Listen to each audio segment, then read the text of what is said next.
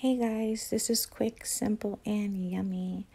This is some salmon in a buttered pan with some seasoning. And I'm just adding some onions here for flavor. And in a separate pan, I've got some mixed vegetables that are seasoned. And I'm going to let them saute, but not too much because I still want them juicy and crunchy. And ta-da, mixed vegetables with fresh avocados for fruit and some bomb salmon. Thank you guys for watching.